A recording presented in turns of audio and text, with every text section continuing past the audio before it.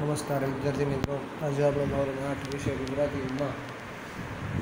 પાઠ નંબર પાંચ. એક મુલાકાતનો અભ્યાસ કરીશું.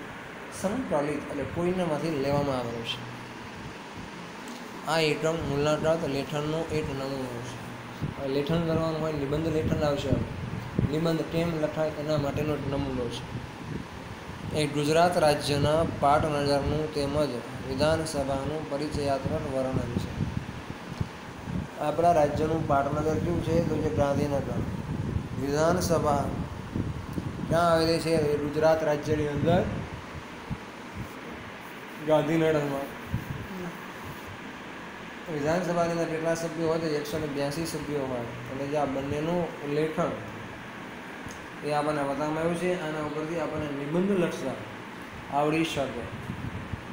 અમારી શાળામાંથી ગુજરાત રાજ્યના વિધાનસભાની મુલાકાતે જવાનું આયોજન કરવામાં આવ્યું. નિશ્ચિત કરેલા સમયે અમે બસમાં બેસીને ગાંધીનગર આવ્યા. તે જ રીતે અમારી શાળાની અંદર એકવાર ગુજરાત વિધાનસભાની મુલાકાતે જવા માટેનું નક્કી કરવામાં આવ્યું.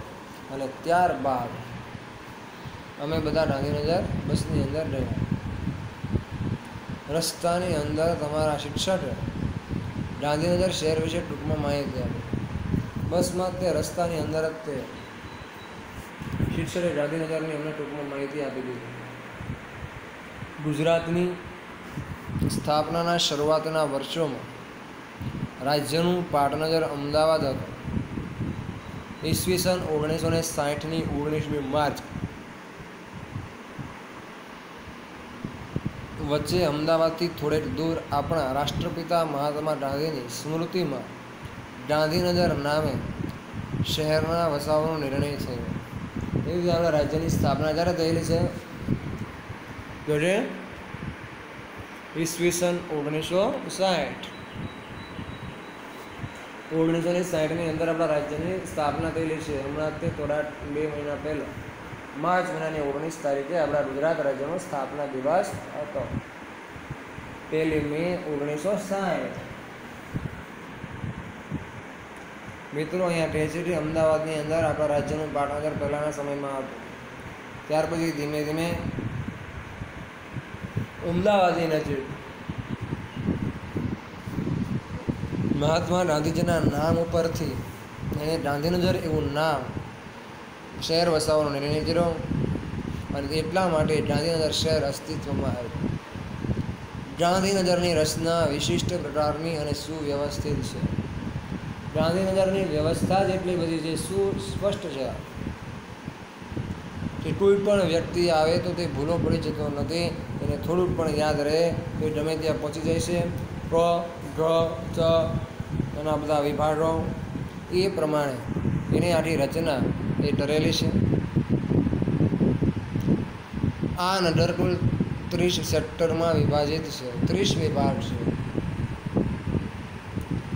સડકો ધોળી અને સ્વચ્છ છે. સડકો જે છે એટલી બધી તમે ચોખ્ખી હોય છે. તેમજ કથી જ સુધી? એમ ડબકાવાળી પ્રમાણેના સાત આડા મુખ્ય માર્ગો છે. કથી લઈને જ સુધી? ક, ખ, ગ, ક ચ ચ અને જ. આમાં સાત આડા માર છે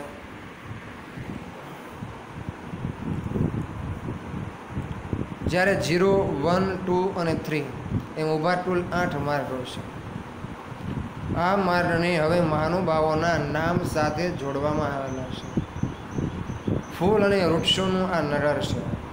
શિક્ષકે અમને કહ્યું, ત્યાં નગરને ગ્રીન સિટી કહેવામાં આવે છે.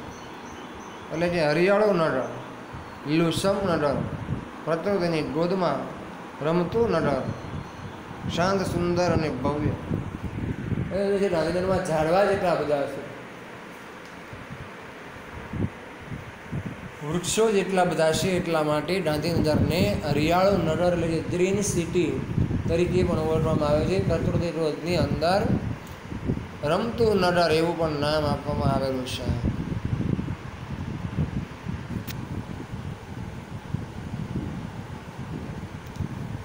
ત્યાર પછી જે વાત છે તે દૂર દૂરથી આવીને વસેલા કર્મચારીઓ નાગરિકો અને વ્યવસાયિકોનું આ નગર છે. કેટલા બધા વ્યક્તિઓ ત્યાં રહે છે? કર્મચારીઓ છે, નાગરિક છે અને વ્યવસાયી ટોલે કોઈ વેપાર કરતા હોય તેવા માણસો ત્યાં રહે છે. જેણે ત્રિવેણી સંગ્રમ ત્યાં સ્થપાયેલો છે. ગાંધીનગર પ્રોપરના વ્યક્તિઓ હોય એના કરતાં વધારે કર્મચારીઓ છે, વ્યવસાયિકો છે અને છે. ત્રિવેણી સંદ્રમાં ત્રણ વ્યક્તિઓને કારણે ગાંધીનગર શહેર એ બરસટ છે. રાજકીય, સામાજિક અને સંસ્કૃતિની પ્રવૃત્તિઓનો પણ ત્રિવેણી સંગ્રમ છે. રાજકીય નેતાઓ પણ ત્યાં રહેલા છે. સામાજિક એટલે કે સમાજની અંદર રહીને કાર્ય કરનારા વ્યક્તિઓ પણ ત્યાં રહેલા છે. અને સાંસ્કૃતિક એટલે કે ઘણા બધા એવા સાંસ્કૃતિક પ્રોગ્રામો ત્યાં થાય છે. અને અહીં પણ ત્રિવેણી સંગ્રામ છે.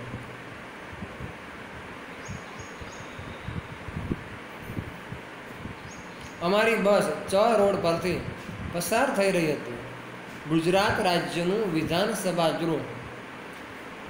અમે જોવાના હતા, તેથી ખૂબ જ રોમાંચિત હતા. બસ વિધાનસભા ગૃહની બિલકુલ સામે ઊભી રહી. અમે નીચે ઉતર્યા. આપણું વિધાનસભા ગૃહ જે છે, કયા વિસ્તારની અંદર છે? ચ વિભાગની અંદર આવેલું છે. વિધાનસભાની સામે જ અમારી બસ ઊભી રહી. હું રોમાંચિત થઈ ગયો. ઓહો આપણને આજે કેવો સમય મળેલો છે કે જેના દ્વારા આપણે આજે વિધાનસભા ગુરુ એ જોઈ શકવાના છે.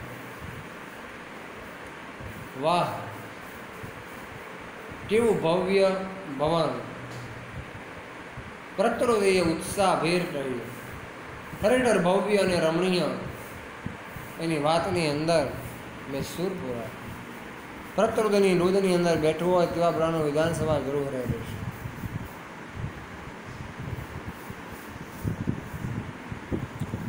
ગુજરાત રાજ્યના વિધાનસભા ગૃહનું નામ વિઠ્ઠલભાઈ પટેલ ભવન છે. અમારા આચાર્ય શ્રી દ્વારા અગાઉથી વિધાનસભા ગૃહ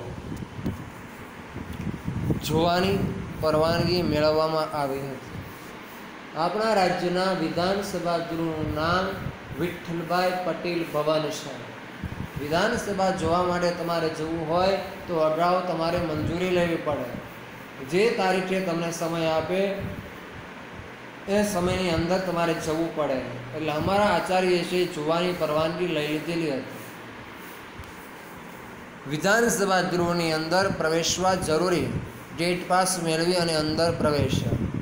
વિધાનસભા ગૃહની અંદર કોઈ અજાણ્યો વ્યક્તિ જઈ શકે નહીં, કારણ કે દરેક રાજકારણીઓ એના અધ્યક્ષ, મંત્રી ઉપમંત્રી બધા જોઈ છે. કોઈ વ્યક્તિએ દડાતી એને માર્યું અથવા તો એને કંઈ લૂંટફાટ કરે, અથવા તો એની આબરૂને નષ્ટ કરે, એટલા માટે અજાણ્યા વ્યક્તિઓને પ્રવેશ આપવામાં આવતો નથી. જેમની પાસે ડેટ પાસ હોય, એ જ પ્રવેશ કરી શકે છે. ત્યાં જ મેટલ ડિરેક્ટર દ્વારા અમારી જરૂરી તપાસ કરવામાં આવે. કોઈ વ્યક્તિ અંદર જઈ શકે, પરંતુ એની તપાસ થાય. કેવા બ્રાની તપાસ થાય? એના પેન્ટની અંદર કોઈ ધાતકીય શસ્ત્ર નથી ને. એની પાસે કોઈ ટેપી દ્રવ્ય નથી ને. એની પાસે કોઈ વ્યસનાત્મક વસ્તુ નથી ને. એ બધી જ તપાસ એ તમને ડેટ પાસ મેળવી અંદર રહી જાય, ત્યાર પછી એક માણસ કરે છે. રાજ્યનું વિધાનસભા જેવું હોવાથી કડક પોલીસ બંદોબસ્ત પણ ત્યાં હતો. અંદર પ્રવેશતા જ અક્ષય બોલી ઉઠ્યો. અરે, પેલી સીડી તો જુઓ. એ સાથે જ અમારી નજર સીડી પર સ્થિર થઈ. અમે સીડી પર ચડવા અધીરા બિના એસ્ટેલેટરના પહેલી બળદથી ઊભા રહેવા સાથે જ પળવારની અંદર મેં પ્રથમ માળે પહોંચ્યા અને ત્યાંથી અમે વિધાનસભા ગૃહની ગેલેરીમાં થઈને વિધાનસભા ગૃહમાં પ્રવેશ કર્યો. ત્યાં પણ અમારે જરૂરી તપાસ કરવામાં આવી.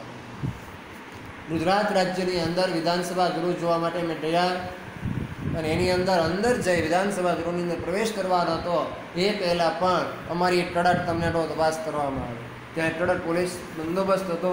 ત્યારે કોઈ પણ વ્યક્તિ અજાણ્યો અંદર પ્રવેશી શક્યો નહીં. અને એ સાથે જ અમારી દાદર ઉપર ચીડી ઉપર મને નજર ગઈ. અદ્ભુત પ્રકારનો તમને દાદર હતો. અમે બધા ચીડા, પહેલાં મળે ગયા અને વિધાનસભા ગૃહની અંદર અમે પ્રવેશ કર્યો છે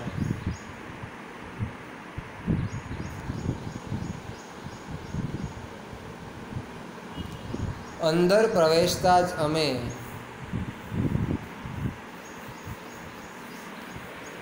અંદર પ્રવેશતા જ અમારા શિક્ષકે વધુ સમજાવતા કહ્યું કે વિધાનસભાને ધારાસભા પણ કહેવામાં આવે છે. વિધાનસભાની અંદર મેં પ્રવેશ કરી લીધેલો છે ત્યારે અંદર જઈને એમના શિક્ષકે સમજાયું કે આ વિધાનસભા ગૃહ જે છે એને ધારાસભા ગૃહ એવું પણ કહેવામાં આવે છે. ધારો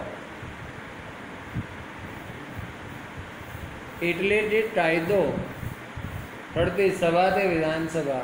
ધારો એટલે શું? કે કોઈ પણ ધારો એટલે કાયદો ઘડવાનો દાખલા તરીકે ગુજરાત રાજ્યની અંદર દરેક વ્યક્તિ પાંચ વર્ષની થાય, ત્યાં સુધી તેને પોલિયો પાવી દેવો એ ધારો ટેવા તો એ મુખ્યમંત્રીની હાજરીની અંદર દરેક મંત્રીગણ ધરે અને એ બધા નિર્ણયો જે લેવાય, એને ધારાસભા જ્યાં ધારો લેવાતો હોય, એના વિધાનસભા અથવા ધારા કહેવાય વિધાનસભાના સાધનની, વિધાનસભાના અધ્યક્ષની બેઠક નીચે હોય છે. વિધાનસભાની અંદર એનું અધ્યક્ષ હોય છે, જેની બેઠક ઊંચી હોય છે. રાજ્યના ચૂંટાયેલા વિધાનસભ્યો અને મંત્રીઓની બેઠકો નીચેના ભાગમાં હોય છે. રાજ્યની અંદર ચૂંટાયેલા વિધાનસભા તથા મંત્રીઓની બેઠક નીચેના ભાગમાં હોય છે. મંત્રી, શિક્ષણ મંત્રી હોય, ગૃહ મંત્રી હોય પશુપાલન મંત્રી હોય, મત્સ્ય ઉદ્યોગ મંત્રી હોય, મહેસૂલ મંત્રી હોય, પંચાયત મંત્રી હોય, આવા અનેક પ્રકારના ખાતાઓ આવે જેને જેને પ્રાપ્ત થયેલા છે, એની પણ સીટ એ નીચે હોય છે. અધ્યક્ષ સ્થાને જે રહેલા છે, એની સીટ જ ઊંચી હોય છે. વિધાનસભાની અંદર મુલાકાતીઓને શાંતિ જાળવવી પડે છે.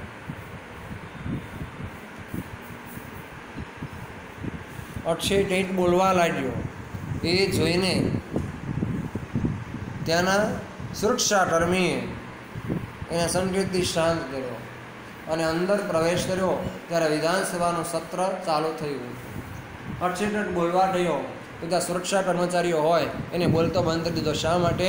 ખોટો અવાજ કરવાનો ન અમે અંદર પ્રવેશ કર્યો ત્યારે વિધાનસભાનું સત્ર શરૂ હતું વર્ષની અંદર બે કે ત્રણ વાર સત્ર બેસે છે. એની અંદર ઘણા બધા નિર્ણય લેવાય શિયાળાની અંદર, ચોમાસાની અંદર અને ઉનાળાની અંદર.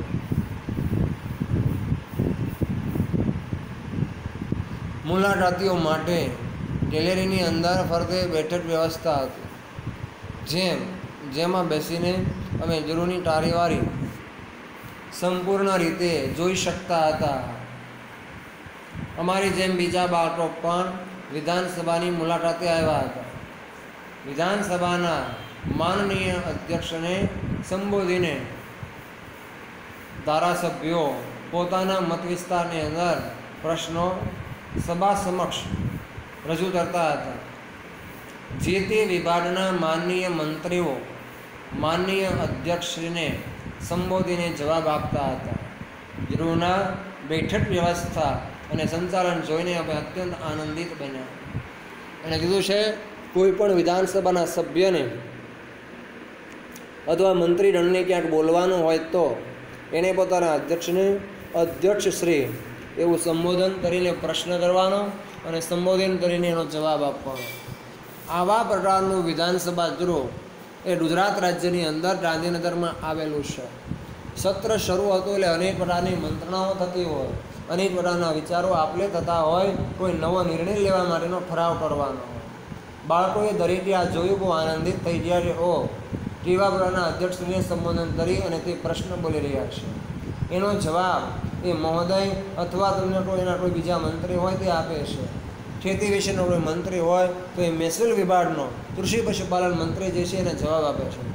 કે ભાઈ, તમે કહો છો કે આ ગામડાની અંદર આવા પ્રકારની પોઝિશન છે, પરંતુ આ કામ થોડા દિવસ પહેલાં પૂર્ણ થઈ ગયેલું છે. વિધાનસભાની કાર્યવાહી નિહાળીને અમે બહાર નીકળ્યા. પછી શિક્ષકશ્રીએ વિવિધ મંત્રીશ્રીઓ અને સચિવશ્રીના કાર્યાલયોથી અમને પરિચિત કર્યું. અમે સત્રમાંથી બહાર નીકળ્યા ત્યારે દરેક પ્રકારના કર્મચારીની બેઠક, એના સચિવોની બેઠકો એ બધી અમને બતાવી કે આરોગ્ય સચિવ છે, મહેસૂલ સચિવ છે, શિક્ષણ સચિવ છે, કૃષિ સચિવ છે દરેક વિભાગના એક સચિવ આ કાર્યાલય વિવિધ બ્લોકની અંદર વહેંચાયેલા છે. જેમાં જેને વિભાગના મંત્રીશ્રીઓ અને સચિવશ્રીઓ રાજ્યના વહીવટ અને વ્યવસ્થા શું સારું સંભાળે છે? આપણા રાજ્યના વિધાનસભા ગૃહની મુલાકાતથી અમારી પ્રસન્નતાઓ કોઈ પાર ન શિક્ષક શ્રી, અમને અલ્પાર માટે ટેન્ટની અંદર લઈ ગયા તથા ગયા તેથી અમારો આનંદ એ બેવડાયો. વિધાનસભા પૂરું કર્યું, ત્યાર પછી અમે સચિવોની બેઠકો જોઈ, મંત્રીગણોની બેઠકો જોઈ અને ત્યાર પછી અમે બહાર આવ્યા. શિક્ષકે અમને કેન્ટીનની અંદર જઈને નાસ્તો કરાવ્યો, તો આનંદ અમારો બેવડો થઈ ગયો. ત્યાંથી અમે બસમાં બેસી અને યાદગાર મુલાકાતને વાડોતા વાડોતા ઢેર પાછા ફર્યા. અને આ વારંવાર યાદ આવે તેવા પ્રકારનો એક નાનો એવો પ્રવાસ હતો. મિત્રો, અહીંયા આપણે એક લેખનનો પરિચય આપવામાં આવ્યો છે. આપણે કોઈ એમ કહે કે ભાઈ, મારું ગામ એના વિશે નિબંધ લખો. મારું ગુજરાત એના વિશે નિબંધ લખો. સરદાર વલ્લભભાઈ પટેલ એના વિશે નિબંધ લખો. તો મિત્રો કેવા પ્રકારના મુદ્દાઓને વણી લેવા જોઈએ. કેવા પ્રકારનો ભાષા પ્રયોગ કરવો જોઈએ. અહીંયા એક પરે પરી પ્રવાસ માટેનો અવલોકન પરિચય આપણને આપવામાં આવેલો છે. કેવી રીતે? તો એ જેની અંદર વિધાનસભા ગૃહ અને ગાંધીનગર શહેર વિશેની વાત કરેલી છે. ગાંધીનગર શહેર કેવા પ્રકારનું છે? તો એ ટોથી ચ સુધી આડા આઠ માર્ગની અંદર જોડાયેલો છે. ઝીરો વન ટુ થ્રી એવા આઠ ઊભા માર્ગોથી જોડાયેલો છે. ગ્રીન સિટી તરીકે ઓળખાય છે. એટલે હરિયાળા શહેર તરીકે ઓળખાય છે. આવા પ્રકારે ગાંધીનગરની એક પ્રકૃતિની ગોદમાં રહેલું પણ કહી શકાય. ઘણા બધા કર્મચારીઓ, નાગરિકો અને વ્યવસાયિકો ત્યાં રહે છે, એટલા માટે ત્રિવેણી સંગ્રામ કહેવાય. અહીંયા રાજકીય, સામાજિક અને સાંસ્કૃતિક વ્યક્તિઓ અને અથવા અધિકારીઓ રહેશે એટલા માટે એને પણ ત્રિવેણી સંગ્રામ કહેવાય. વિધાનસભા ગૃહ જે છે, એનું નામ વિઠ્ઠલભાઈ પટેલ ભવન, એવા નામથી તે ઓળખાય છે. વિધાનસભા ગૃહની અંદર તમારે જવું હોય તો તમારે ટેટ પાસ લેવો પડે, એની ટિકિટ લેવી પડે. અંદર ગયા બાદ પણ તમારી તપાસ કરે અને વિધાનસભા ગૃહમાં પ્રવેશ કરો, ત્યારે પણ તમારી તપાસ કરે. વિધાનસભા ગૃહ શરૂ હોય સત્ર, ત્યારે પણ દરેક વિદ્યાર્થીઓને અંદર જવા માટેની પરવાનગી મળે છે. એટલે જે આ પ્રકારની વાત આપણે આ પાઠની અંદર જોઈ. શબ્દાર્થની અંદર જોઈએ તો સ્મૃતિ. એટલે ભૂતકાળમાં પસંદો અનુભવો, વિચારો વગેરે ચિત્તમાં સંદર્ભવાની શક્તિ. પ્રતીતિ એટલે સમજ, ભરોસો, વિશ્વાસ અને ખાતરી. ગેટ પાસ દરવાજામાં પ્રવેશવા માટેનું ઓળખપત્ર. એસ્ટેલેટર લેફ્ટની જેમ વ્યક્તિઓને માળ ઉપર નીચે લઈ જતી સરકતી છે. મેટલ ડિરેક્ટર એટલે આપણી પાસે કોઈ એવી જીવલેણ વસ્તુ છે કે નહીં, તેની તપાસ કરવા માટેનું એક સાધન. કે જે તમે અંદર પ્રવેશ કરો છો, તો એ મશીન દ્વારા જોએ અને કોઈ જોખમી શસ્ત્ર હોય કોઈને કંઈ દગો કરવા માટેનું કંઈ સાધન હોય, તો એ જોવા માટેનું એક તપાસનું સાધન છે. સુરક્ષા કર્મી અને ચોકીદાર ગેલેરી. અહીં નીચેના મોટા ઓરડાની અંદર શું ચાલી રહ્યું છે? તેવી એ ઓરડાની ચારે બાજુ બાંધેલી એક માળ. ઊંચું થાંભલા પર કે મોગ પર ટેકવેલી એટ જગ્યા. અથવા આબંધ ઓરડીઓમાં જવા આવવા માટેના મકાનની છત સાથે જોડાયેલી ખુલ્લી જગ્યા. અલ્પાહાર. તો જે નાસ્તો, કેન્ટીન. નાસ્તો મળે છે તે સ્થળ. રૂઢિપ્રયોગની અંદર લીધું છે સુર પૂરવું એટલે આમાં હાથ એવી મિત્રો, હવે આવે છે અભ્યાસ. વિઠ્ઠલવાળા પ્રશ્ન, કોઈ પણ રાજ્યનું વડું મથક ક્યાં નામે ઓળખાય છે? તો એ પાટનગર. ગાંધીનગરની સ્થાપના ક્યાં નેતાની સ્મૃતિમાં કરવામાં આવી? તો જે મહાત્મા ગાંધી. ગાંધીનગરમાં કુલ કેટલા સેક્ટરમાં વિભાજિત, વહેંચાયેલું છે તો એ ત્રીસ સેક્ટર. ગાંધીનગરની ગ્રીન સિટી તરીકે કેમ ઓળખવામાં આવે, કારણ કે આ શહેરની અંદર વધારે વૃક્ષો અને ફૂલછોડ હોવાથી તેને ગ્રીન સિટી તરીકે ઓળખવામાં આવે. ગાંધીનગરના માર્ગો શી વિશેષતા ધરાવે છે? કથી ચ સુધીના ત્યાં તમારો માર્ગો છે. વિધાનસભા ગૃહ ક્યાં આવેલું છે? વિધાનસભા ગૃહ ચ વિભાગમાં આવેલું છે. વિધાનસભા ગૃહને કોનું નામ આપવામાં આવ્યું છે? વિઠ્ઠલભાઈ પટેલ ભવન. વિધાનસભાને ધારાસભ્ય તરીકે કેમ ઓળખવામાં આવે છે? તો જે અહીંયા ધારો અથવા તો કોઈ ઠરાવ કરવામાં આવે છે, એટલા માટે તેને ધારાગૃહ કહેવામાં આવે છે. વિધાન મંત્રીશ્રીઓ અને સચિવશ્રીઓના કાર્યાલયો કેટલા બ્લોકમાં વહેંચાય છે? ઘણા બધા બ્લોકની અંદર વહેંચાયેલા છે અને ઘણા બધા મંત્રીગણો અને રહેલા હોય છે. મિત્રો, આજે આપણે અહીંયા સુધી રાખીએ. આપણે આખો જ પાઠ ભણ્યા એના શબ્દાર્થ, રૂઢિપ્રયોગ અને અભ્યાસ વિશે વાત કર્યું આપણે હોમવર્કની અંદર અભ્યાસ અને સ્વાધ્યાય બંને એકવાર હોમવર્કની અંદર, પાર્ટી નોટબુકની અંદર લખવાનો છે. આજે અહીંયા સુધી. આવતીકાલે અહીંથી આગળ આવજો. જય સિયારામ.